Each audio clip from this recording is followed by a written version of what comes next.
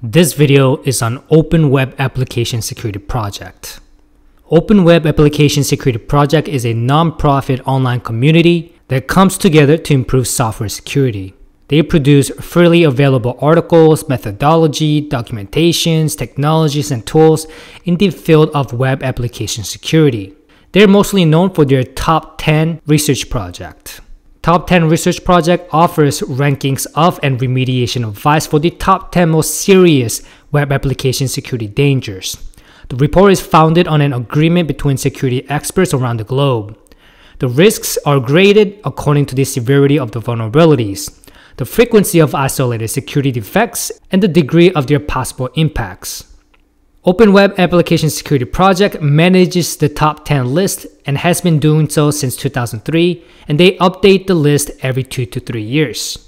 Their goal is to provide web application security experts and developers with an understanding into the most common security risks so that they can use the findings of the report as part of their security practices. This can help limit the presence of such known risks within their web applications. This is the top 10. At the top, we got broken access control. If authentication and access restriction are not properly implemented, it's easy for attackers to take whatever they want. With broken access control flaws, unauthenticated and unauthorized users may have access to sensitive files and systems, and even user privilege settings. Configuration errors and insecure access control practices are hard to detect as automated process cannot always test for them. Pen testing can detect missing authentication, but other methods must be used to determine configuration problems. Weak access controls and issues with credential management are preventable with secure coding practices, as well as preventative measures like locking down admin accounts and controls and using multi-factor authentication.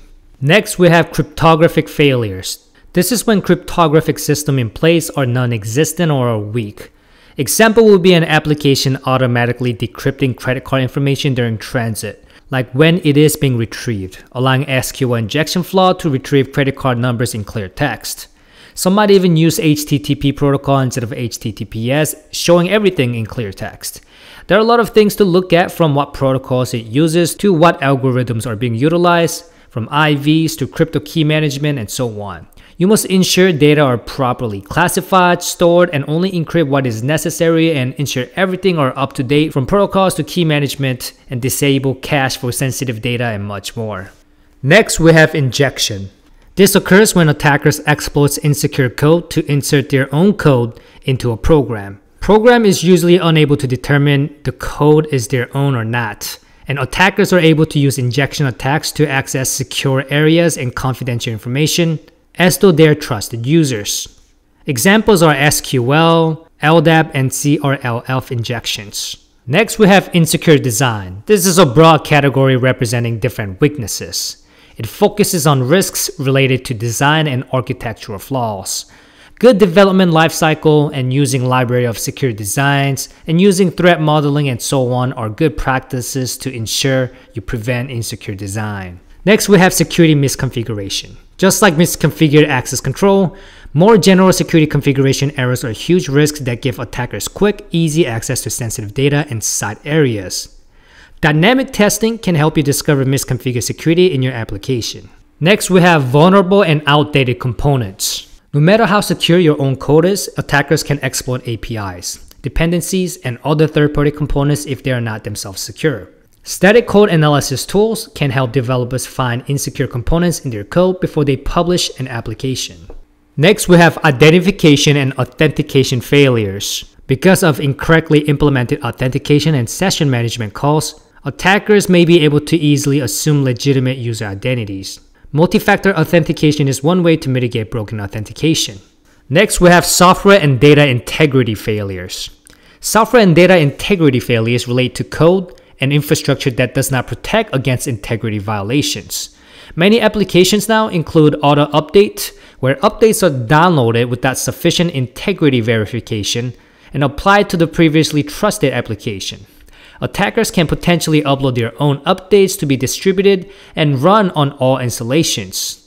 You have to use digital signatures and ensure you're using trusted repositories that's vetted. Ensure there aren't any components with known vulnerabilities and apply a review process. Next, we have security logging and monitoring failures. Failing to log errors or attacks and poor monitoring practices can introduce a human element to security risks. Threat actors count on lack of monitoring and slower remediation times so that they can carry out their attacks before you have the time to react. To prevent issues with insufficient logging and monitoring, make sure that all login failures, access control failures, and server-side input validation failures are logged with context so that you can identify suspicious activity. Pen testing is a great way to find areas of your application with insufficient logging as well. Establishing effective monitoring practices is also essential. Next, we have server-side request forgery. Server-side request forgery flaws occur whenever a web application is fetching a remote resource without validating the user-supplied URL. It allows an attacker to coerce the application to send crafted requests to an unexpected destination even when protected by a firewall, VPN, or another type of network access control list.